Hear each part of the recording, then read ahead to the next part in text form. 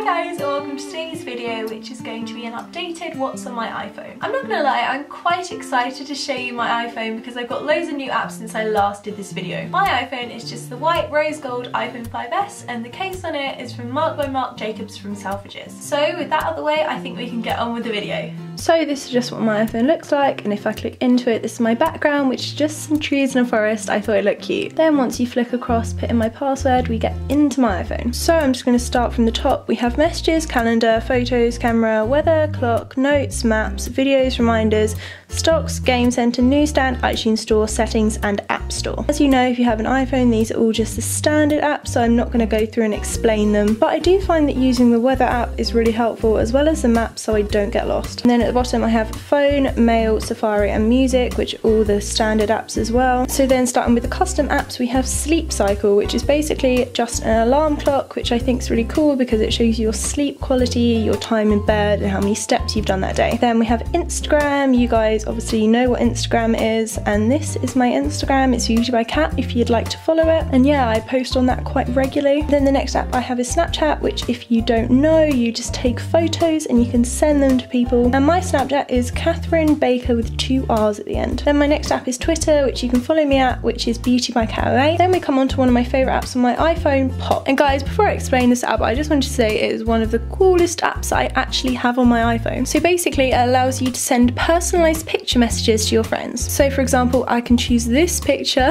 that my friends took on my phone last night and I could send it to someone. But not only do you send the photo to people, but you can put text on it like this and you can change the type of text and the colour as well as drawing on the photo as well. You can also put these really cute emoticon kind of things on it so I could decorate this photo with all these stars as well and flowers and just make the whole picture look so pretty. And then you can simply just send this photo to your friends. You can also use the photos that they've put on the app so you can use a tiger or a road or trees or anything like that. I just think it's a really cute thing to send your friends instead of just sending text messages. So I will send you details on how to download this app below. And then moving on I have Facebook, Starbucks which is one of my most used apps, Gmail which is my email, Tumblr, which is my Tumblr. I'll leave the link to my Tumblr below, but it's illuminocity.tumblr.com. Then I have Depop, where you can sell things. I think this app is so cool because it's like Instagram, but you can buy the things that you see. Then I have Shpock, which is a little bit like eBay.